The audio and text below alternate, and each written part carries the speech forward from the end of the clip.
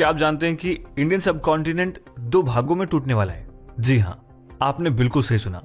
और ऐसा हम नहीं कह रहे हैं। बल्कि ऐसा दावा अमेरिकन जियोफिजिकल यूनियन के जियोलॉजिस्ट की रिसर्च कर रही है। अपनी रिसर्च के दौरान इस ग्रुप ने सदर्न तिब्बत से एक नया साइज्मिक डेटा कलेक्ट किया है। दोस्तों, इन ऑब्जर्वेशंस को दिसंबर के आखिर में सैन फ्रांसिस्को में अमेरिकन जियोफिजिकल यूनियन कॉन्फ्रेंस में प्रेजेंट किया गया था। देखा जाए तो इसी स्टडी ने रिवील किया कि इंडियन कॉन्टिनेंटल प्लेट में डिसइंटीग्रेशन हो रहा है, यानी जिन फोर्सेज ने हिमालयन पर्वतों को जन्म दिया, वही फोर्सेज आज तिब्बत पर इसकी स्प्लिटिंग को भी जन्म दे रही हैं। और इसके चलते वैज्ञानिकों का ये मानना है कि भारत, तिब्बत और पूरी इंडियन कॉन्टिनेंटल प्लेट दो भागों में बटने जा रही है।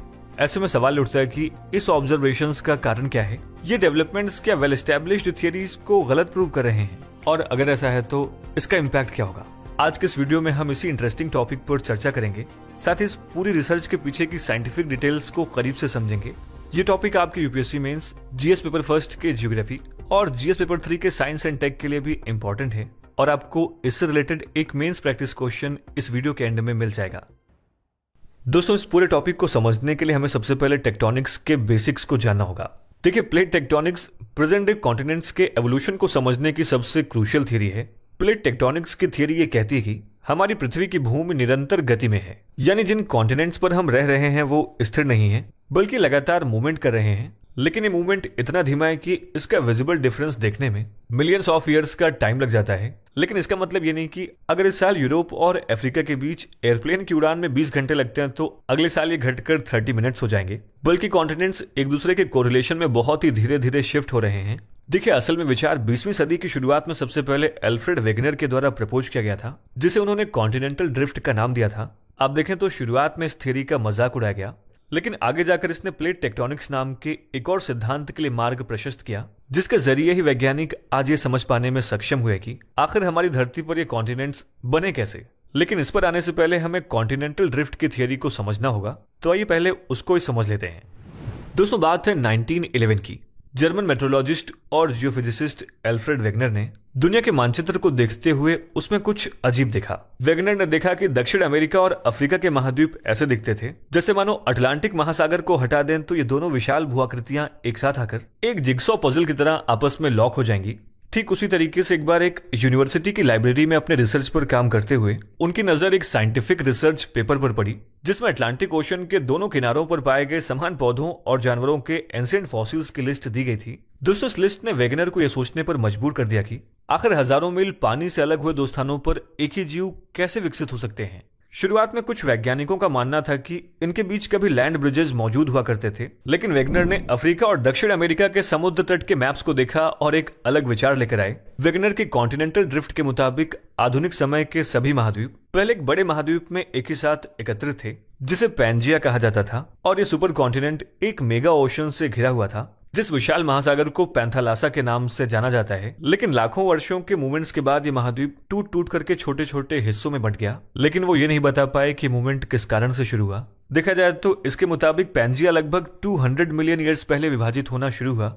दोस्तों, पैंजिया सबसे पहले दो बड़े महाद्वीपों, यानी कि गोंडवाना लैंड और लॉरेशिया में डिवाइड होना शुरू हुआ, जो दक्षिणी और उत्तरी मॉड्यूल बनाते हैं। और बाद में ही गोंडवाना लैंड और लॉरेशिया कई छोटे महाद्वीपों में टूटते रहे, जो कि आज हमारे सामने मौजूद हैं। देखा जाए तो इसी थॉट से इंस्पायर होकर वेगनर ने पहली बार 1912 में कॉन्टिनेंटल ड्रिफ्ट का अपना विचार प्रस्तुत किया। लेकिन जैसा कि हमने आपको शुरुआत में बताया कि इसका मज़ाक उड़ाया गया और जल्द इस आइडिया को भुला दिया गया। दोस्तों वेगनर अपने सिद्धांत को स्वीकार होते देखने के लिए जीवित नहीं रहे।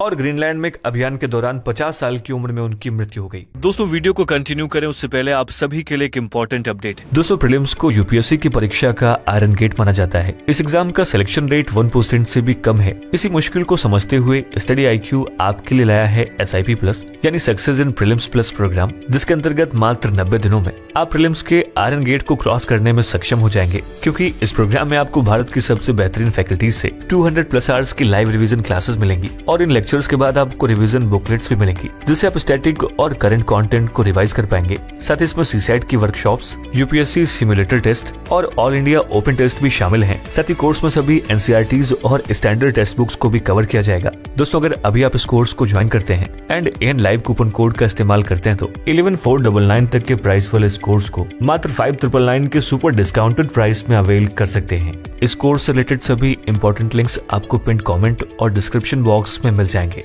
तो आइए वीडियो को कंटिन्यू करते हैं। लेकिन कुछ ही दशकों के बाद 1960 में कॉन्टिनेंटल ड्रिफ्ट का विचार फिर से सामने आया। यूजो विल्सन ने पहली बार 1960 में प्लेट टेक्टोनिक का नाम लिया। आप देखेंगे तो इन दशकों में वॉर टाइम में यूज़ हुई टेक्नोलॉजीज़ ने अर्थ को और भी ज़्यादा डेप्थ में समझना मुमकिन कर दिया था। जिनमें परमाणु परीक्षण के कारण होने वाले जमीनी झटकों की निगरानी के लिए इस्तेमाल किए जाने वाले साइज्मोमीटर और पनडुब्बियों का पता लगाने के लिए मैग्नेटोमीटर शामिल थे। साइज्मोमीटर के साथ रिसर्चर्स ने पाया कि भूकंप पूरी पृथ्वी पर समान रूप से आने के बजाय अलग अलग स्थानों पर आते हैं और मैग्नेटोमीटर के साथ समुद्र तल का अध्ययन करने वाले वैज्ञानिकों को समुद्र के नीचे की चोटियों के पास आश्चर्यजनक चुंबकीय विविधताओं के प्रमाण मिले। साथ ही डॉग्स के अल्टरनेट स्ट्रिप्स ने अर्थ के मैग्नेटिक फ़ील्ड में फ्लक्चुएशन शो किए। यहाँ पर गौर करने वाली बात यह कि ये सभी ऑब्जर्वेशन रिसर्चर्स द्वारा प्रस्तावित एक नए सिद्धांत के अनुरूप थे, जो वेगनर के कॉन्टिनेंटल ड्रिफ्ट के मूल विचार पर आधारित थे। दोस्तों कॉन्टिनेंटल ड्रिफ्ट के साथ ही साथ कन्वेक्शन करंट और सी फ्लोर स्प्रेडिंग जैसी थियरीज के एविडेंसेस को इस्तेमाल करके साइंटिस्ट ने प्लेट टेक्टोनिक्स की थियरी को जन्म दिया और प्लेट टेक्टोनिक यही थियरी हमें बताती है कि पृथ्वी के महाद्वीप क्यों घूम रहे हैं। देखिए, असल में हमारी अर्थ के इंटीरियर थ्री लेयर्स में बटे हुए हैं। सबसे ऊपर की लेयर को क्रस्ट दूसरी लेयर को मेंटल और सबसे इनर मोस्ट लेयर को कोर कहा जाता है। क्रस्ट और मेंटल की सबसे ऊपरी लेयर यानी कि अपर मेंटल सॉलिड फॉर्म में एग्जिस्ट करती है। ये सॉलिड लेयर लिथोस्फेयर फॉर्म करती है। आप देखेंगे तो अपर मेंटल के नीचे एक और लेयर एग्जिस्ट करती है, जिसको एथनोस्फेयर कहा जाता है। दरअसल टेम्परेचर बहुत ज़्यादा हाई होने के चलते, ये लेयर सेमी लिक्विड मैग्मा की फॉर्म में एग्जिस्ट करती है। यही वजह है कि जैसे जैसे ये मोल्टेन मैग्मा मूव करता है तो इसी के साथ लिथोस्फेयर भी मूव करता है। आप देखेंगे तो इस लेयर के और नीचे रेडियो एक्टिव एलिमेंट्स प्रेजेंट होते हैं, जिसमें लगातार रिएक्शंस भी होती रहती हैं। ये रिएक्शन कन्वेक्शन करंट को जन्म देती है। ये करंट्स नीचे से अर्थ की क्रस्ट की ओर मूव करते हैं। और एक रेस्ट से बाहर निकलने की कोशिश करते हैं। दोस्तों करंट्स की फोर्सेस के साथ ही साथ अर्थ की क्रस्ट में भी क्रैक्स आ जाते हैं और इसी के चलते अर्थ की लेयर लगभग 20 खंडों में विभाजित है, जिन्हें टेक्टोनिक प्लेट्स कहा जाता है और इन्हीं प्लेट्स पर महाद्वीप टिके हुए हैं। यानी कि लिथोस्फेयर कई बड़ी और छोटी प्लेट्स से बना है, जो एक साथ मजबूती से फिट होती है, लेकिन निरंतर गति में रहती हैं, जो कभी कभी एक दूसरे की ओर तो कभी कभी एक दूसरे से दूर जाती हैं। और लिथोस्फेरिक प्लेट्स के इसी मोमेंट को ही टेक्टोनिक शिफ्ट कहते हैं।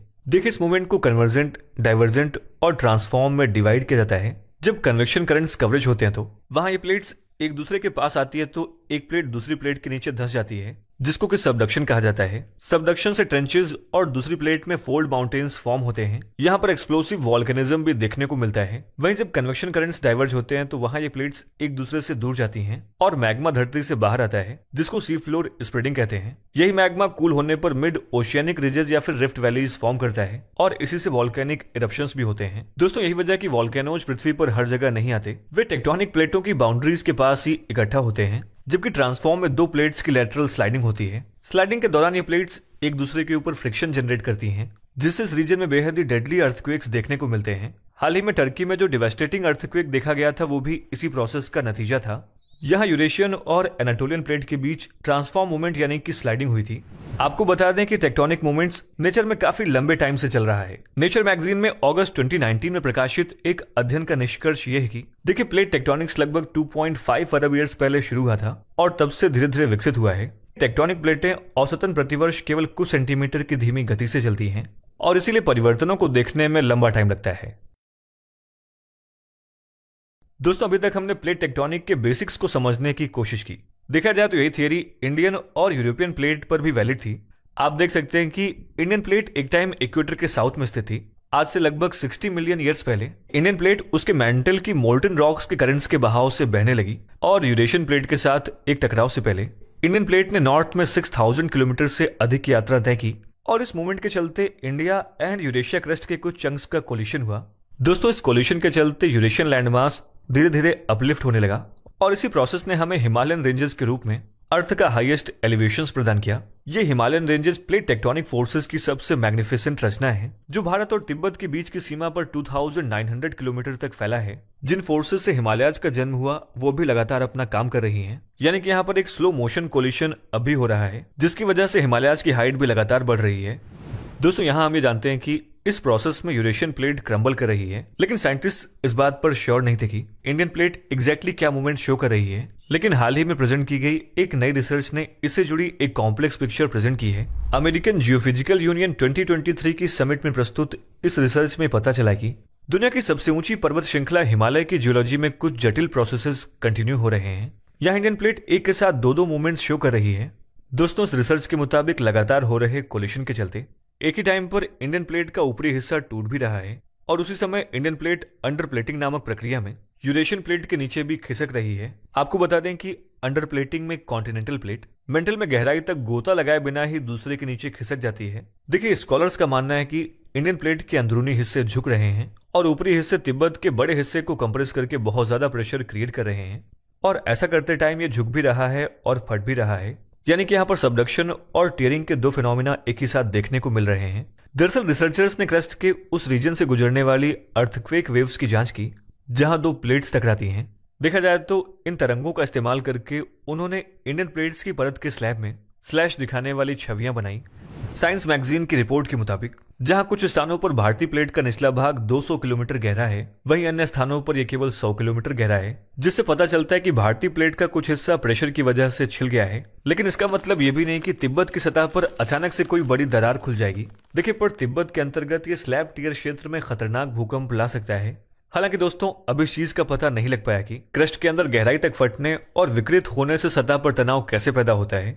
लेकिन अभी तक की ऑब्जर्वेशन से हमें दोनों प्लेट की बाउंड्रीज के आसपास बढ़ते भूकंप के जोखिम वाले क्षेत्रों के बारे में जानने में मदद मिल सकती है। ऐसे में कहा यह जा रहा है कि प्रेजेंट टाइम में इंडिया प्लेट का मूवमेंट एशियन कॉन्टिनेंट पर भारी दबाव डाल रही है, जिसके चलते तिब्बत उत्तर की ओर के भूभाग पर दबाव डालता है जो इसे घेर रहा है और इस कॉम्प्लेक्स रीजन में सभी टेक्टोनिक फोर्सेस की नेटफोर्स एशिया के कुछ हिस्सों को ईस्ट में प्रशांत महासागर की ओर धकेल सकती हैं और इसीलिए वैज्ञानिकों को यह डर है आने वाले टाइम में इंडियन कॉन्टिनेंटल प्लेट दो भागों में ब्रेक हो सकती है। लेकिन अब आप ये सोच रहे होंगे कि इस प्रोसेस में तो मिलियंस ऑफ़ ईयर्स का टाइम लगेगा। फिर हम अभी से चिंता क्यों करें?